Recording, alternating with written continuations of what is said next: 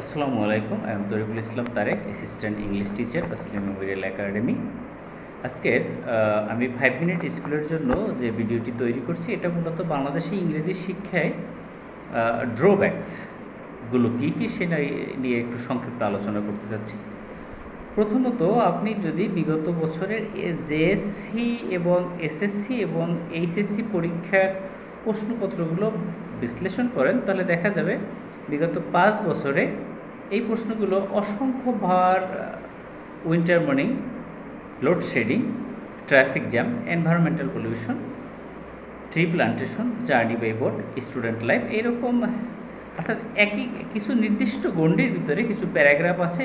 এই প্যারাগ্রাফগুলো বারবার রিপিট হচ্ছে। কিছু লিটার আছে, এই লিটারগুলো বারবার রিপিট হচ্ছে।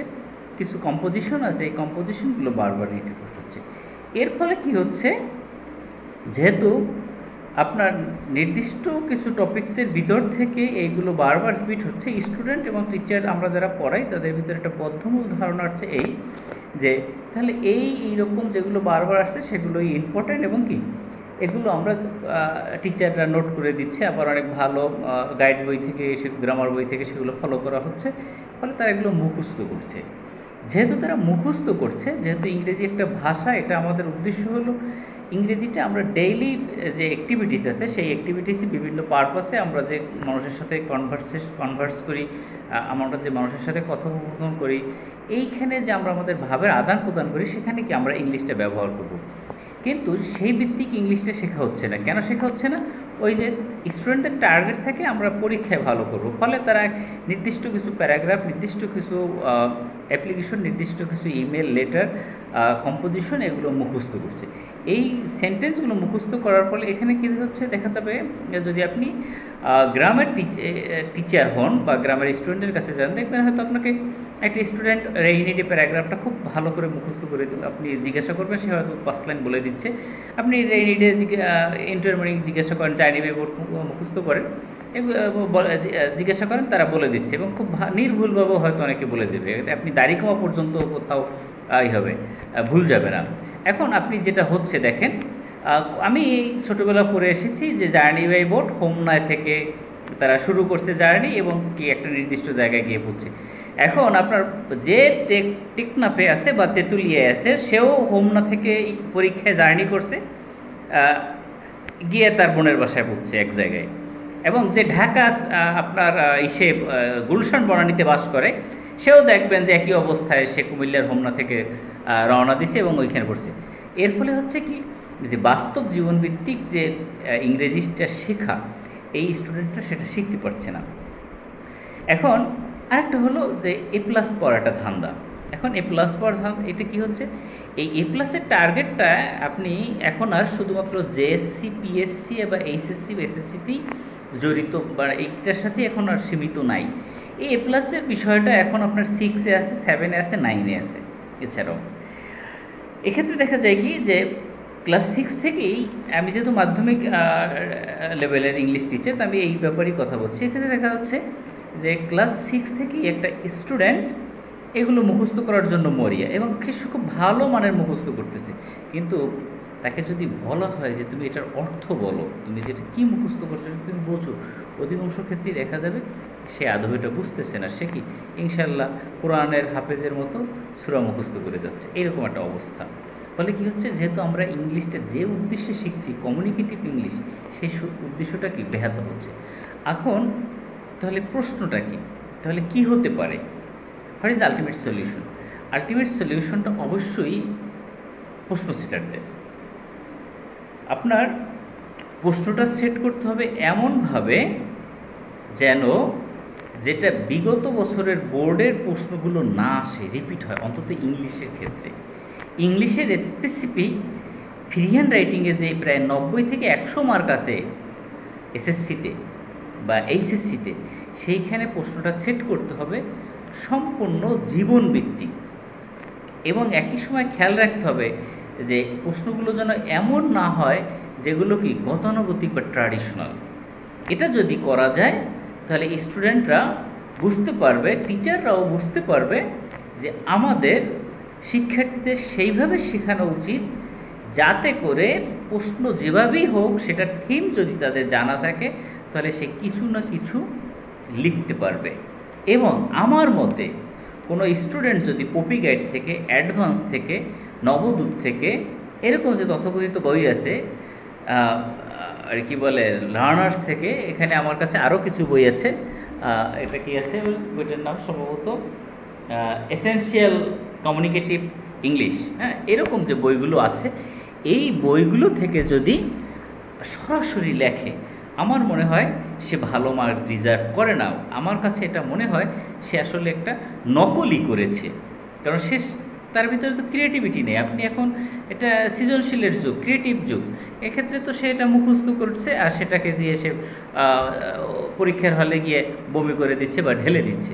সো এটা আমার মনে হয় এটা এক প্রকার আসলে কপি বা নকলই বলা যায়, এখানে আসলে তার মেধার কোনো বিকাশ হচ্ছে না। এর ফলে কী হচ্ছে, এই সেন্টেন্স সে যে সেন্টেন্সগুলো শিখছে, এটা কি একটা কবিতার মতো, একটা গল্পের মতো, এগুলো কি বাস্তব জীবনে কোথাও কি ব্যবহার হচ্ছে, ব্যবহৃত হচ্ছে না? তো, আর আমাদের তাহলে টিচারদের নৈতিক দায়িত্বটা কি এখানে? আমার যেটা মনে হয় যে আমাদের তথাকথিত আমরা যেগুলো পড়ছি যে দেখা যায়, আমি একটা উদাহরণ দিচ্ছি, যে প্ল্যান আফটার এসএসসি এক্সাম অথবা what do you what do you want to do after SSC exam এখানে আপনি যদি তথাকথিত সকল বইগুলোতে দেখেন, এমন কিছু লেখা আছে যেগুলো আমার কাছে ব্যক্তিগতভাবে মনে হয় যে এটা আসলে জোকস অথবা আলাউদ্দিনের ম্যাজিক ল্যাম্পের মতো কিছুটা। কীরকম? আপনি খেয়াল করবেন যে অধিকাংশ এই যে প্ল্যান আফটার এসএসসি এক্সামের এই লেটারগুলো বা ইমেলগুলোতে লেখা আছে যে যেহেতু বাংলাদেশ ইজান বাংলাদেশে most of the people Bangladesh are illiterate so as a student I have some responsibility so I want to go to my native village এবং সেখানে গিয়ে কি করব? সেখানে গিয়ে কি আমি কিছু নিরক্ষর লোকদেরকে তাদের সাথে আসব, তাদের সাথে দেখা করব, তাদের সাথে, তাদেরকে কি আমি স্যানিটেশন সম্পর্কে হেলথ সম্পর্কে ফ্যামিলি প্ল্যানিং সম্পর্কে তাদের জ্ঞান দেবো, পাশাপাশি সায়েন্টিফিক কী বলে যে কৃষিতে যে সায়েন্টিফিক ব্যবহার সে সম্পর্কে জ্ঞান দেব। আরও কি করব? সেখানে গিয়ে একটা নাইট স্কুল ওপেন করব। তারপর তাদেরকে আমি অক্ষর জ্ঞান দেওয়ার চেষ্টা করব। বাস্তবতা হলো আপনার যদি এসএসসি পরীক্ষা দেয় পাঁচ লক্ষ স্টুডেন্ট আপনি এর ভিতরে পাঁচশো জনও পাবেন না যারা এই কাজগুলো করবে। কিন্তু আমরা কিন্তু স্টুডেন্টরা যথাক্রমে এটা খুব সুন্দরভাবে গাইডে লেখা আছে। সেটা থেকে কি হুবহু সুন্দর করে দাড়ি কম সহ মুখস্থ করছে এবং কি, সেটা পরীক্ষার লিখছে। এবং ইনশাল্লাহ যারা এক্সামিনার আছেন, তারা কি দশে দশ দিয়ে দিচ্ছে। বাহ, কত সুন্দর লেখছে। কিন্তু হচ্ছে কি, সে মুখস্থ করছে। তার ভিতরে নিজ থেকে তার থিঙ্কিং ক্যাপাসিটি ডেভেলপ হচ্ছে না। তার সেন্টেন্স মেকিং ক্যাপাসিটি ডেভেলপ হচ্ছে না। কারণ তাকে তো কখনোই বলি নাই যে এসএসসি পরীক্ষার পর তুমি কি করবা যে তুমি সেইটা লেখো। এখন কি হয় আধুনিক যুগে এসএসসি পরীক্ষার পর স্টুডেন্টরা কিছুদিন হয়তো একটা দিন ঘুমায় বা একটু রেস্ট নেয় যারা বেশি পরিশ্রম করে। তারপর কি করে? সে হয়তো স্মার্টফোন ব্যবহার করে। সেখানে সামাজিক যোগাযোগ মাধ্যমে কেউ ইউটিউব ভালো মুভি দেখে ভিডিও দেখে। কেউ বন্ধুদের সাথে আড্ডা দেয়। আবার কীভাবে বন্ধুর ছেলে পান খেলাধুলা করে, একটু নানু বাড়ি বা আত্মীয় স্বজনের বাড়িতে বেড়াইতে যায় এবং কী করে বাবা মার সাথে কি হয়তো একটু আপনার দূরে কোথাও ঘুরতে যায়। এগুলো সাধারণত স্টুডেন্টরা এসএসসি পরীক্ষার পরে করা থাকে এবং এরাও কী করে? হয়তো কেউ অনেকে আবার ইংলিশ স্পোকিং একটা কোর্স করার চেষ্টা করে, কেউ আবার একটু কম্পিউটার শেখার চেষ্টা করে। কিন্তু আপনি দেখবেন না কোনো স্টুডেন্টের বা কোনো বইতে সাধারণত এই কথাগুলো লেখা আছে। তার মানে কি? আমরা স্টুডেন্টদের মিথ্যে শিখাচ্ছি। আমরা কি করছি? স্টুডেন্টদের বাস্তব জীবন থেকে দূরে নিয়ে যাচ্ছি। এটা একটা স্টুডেন্টের জন্য অনেক অনেক ক্ষতিকর। এটা একটা স্টুডেন্টকে কখনোই তার জীবনে কীভাবে এই ভাষাটাকে, ইংরেজি ভাষাটাকে তার ব্যক্তিগত জীবনে, তার সামাজিক জীবনে, তার রাষ্ট্র, তার জাতীয় জীবনে, তার কর্মজীবনে কীভাবে এই ভাষাটাকে ব্যবহার করতে হবে, সে এইটা কি তা শেখা হচ্ছে না। ফলে বার, ফলে আম শিক্ষার্থীরা পিছিয়ে পড়ছে, এই দেশ পিছিয়ে পড়ছে। ফলে কি আমাদের তথাকথিত যে আমরা যে উন্নয়ন চাচ্ছি বা যে আমাদের সামাজিক পরিবর্তনটা চাচ্ছি, সেটা হচ্ছে না।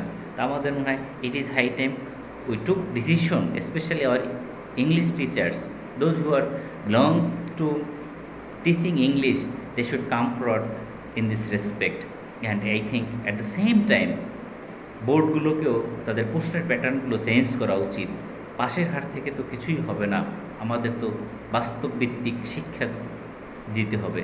পাসিং রেট যদি হান্ড্রেড পারসেন্ট ওভারও হয়, এর তো কোনো বেনিফিট এই জাতি পাচ্ছে না। সুতরাং এই পাশের রেট দিয়ে কী হবে? ভালো থাকবেন সবাই, সুস্থ থাকবেন, চেষ্টা করবেন। দৈনন্দিন জীবনে পাঁচটা ইংলিশ সেন্টেন্স যদি আপনি জানেন try to use this five sentence in your life আল্লাহ হাফেজ।